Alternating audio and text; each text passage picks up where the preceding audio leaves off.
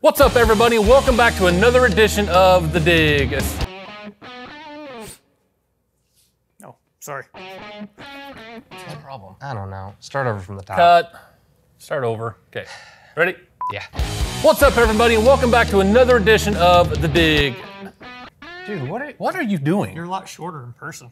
what are you doing right yeah, now? what exactly are you oh, doing? You guys are filming. Yes. Actually, sorry. what are you doing though? Like, do you have a minute? What's up, everybody, welcome back to another edition of The Dig, a series dedicated to helping you improve profitability on your farm. Today, apparently, we're gonna have Travis Burnett with us. So Travis is a field agronomist covering the northern half of Indiana. I'm Aaron, and this is Colin. And I reckon we should go ahead and dig in, right? Yeah. Let's dig in.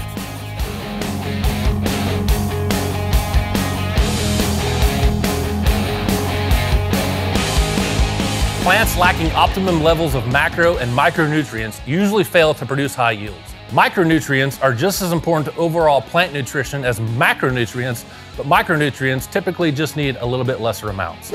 In-season tissue sampling is a very reliable way to get a feel for how that plant is developing throughout the year. But before we get there, let's talk about some things we can do from a fertility standpoint to start the season. That's right. It's important for farmers to get a good start in the spring to ensure their crops have the greatest potential for success from the moment they get planted. As temperatures warm and spring planting begins, starter fertilizers are a great option to consider.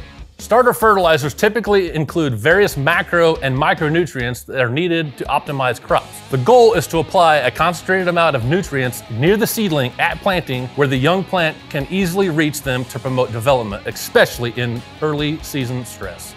As planting windows are more compressed and as we're planting earlier and earlier, the likelihood of experiencing the cool, wet conditions at or after planting increase drastically. In-furrow technologies like starter fertilizers, both macro and micronutrients, seed treatments, fungicides, insecticides, all of these products can help get that seedling off to the best start possible. When determining if a starter fertilizer is right for your operation, there's a few considerations that come into play. These include fertilizer placement, what are the key nutrients you're wanting to provide to your crop, and also the cost of the various products. For starter fertility on corn, the best place to start is with phosphorus. First, phosphorus availability in these cool, wet conditions that we previously mentioned can be limited.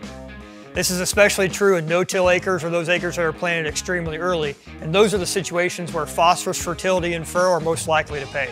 Second, available phosphorus is typically found in lower concentrations in soil water, typically between 1 and 3 parts per million. Lastly, phosphorus moves into the plant through a process called diffusion. This requires that phosphorus molecule to be within millimeters of that root itself. The plant takes this phosphorus up in the orthophosphorus form, and as a result, the best way to mitigate phosphorus availability early seasons to apply an orthophosphorus form of fertility in furrow. Keep in mind, in situations where you have high concentrations of phosphorus, zinc availability can be limited. This is a situation where we could look at adding zinc with our phosphorus fertility in furrow to offset that risk. All right, Colin, if I wanted to try out some starter fertilizer products on my farm, what are some recommendations you have? Pure Grey Diamond provides a three-year multi-location ROI of $12.78 per acre and a yield advantage of 8.2 bushels on corn. Diamond 6246 is 100% orthophosphate low salt liquid fertilizer. Under stressful conditions such as cold soil temperatures, phosphorus becomes available once the roots are able to take up the nutrients. Zinc can also be applied in the same applications to offset nutrient tie-up that Travis mentioned earlier. For soybeans, First Pass with Microcarb Micronutrient Blend provides a three-year multi-location ROI of $9.19 and a 2.7 bushel advantage on soybeans. First Pass is an in-furrow starter fertilizer specifically formulated to maximize soybean yields. But micronutrients should not just be a consideration at planting time. We know that micronutrients like zinc and manganese and boron are important to the growth and development of that crop all throughout the growing season. Plants require large amounts of essential micronutrients to sustain growth. 220 bushel corn crop only requires between a half pound and a pound of both zinc and boron. So a well-timed foliar application can be very meaningful in season. For example, PFR suggests that an application of 10% boron at tassel returns about 2.8 bushels per acre. Matching micronutrient needs in high yielding conditions requires the supply of nutrient sources at rates that meet the crop's needs during key growth stages. Boron and zinc have tight windows for uptake, so environmental conditions that impede mineralization during those peak uptake times could limit availability, even in soils with good organic matter and fertility levels. The proven products shown here consistently provide increased yields and return in our PFR testing. When it comes to soybeans, micronutrients like iron, manganese, zinc, copper, boron, and molybdenum are not as frequently applied to fields as macronutrients are. Applications of PFR proven products like the ones shown here have provided consistent yield gains and positive returns on investment over multiple years of testing. When applied at R1, these products provide additional nutrients to the plant for maximum pod fill potential. PFR studies suggest that the time of day of that foliar application is critical.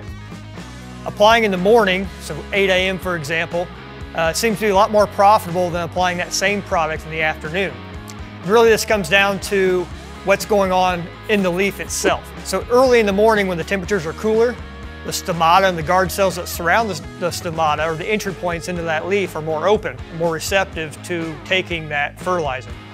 In the heat of the day in the afternoon, those guard cells and the stomata are closed and it's a lot harder to get those nutrients into the leaf. All right, Colin, so wrap it up for us. I would say that the micros can be just as important as the macros. You hit the nail on the head there, my friend. Anyways, don't forget to like and subscribe, and we will see you again on another episode of The Dig! Travis, you want to come here and say bye? Thanks for having me, guys. Bye.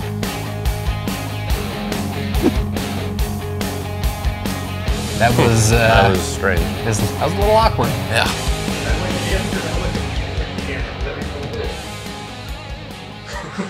I'd look at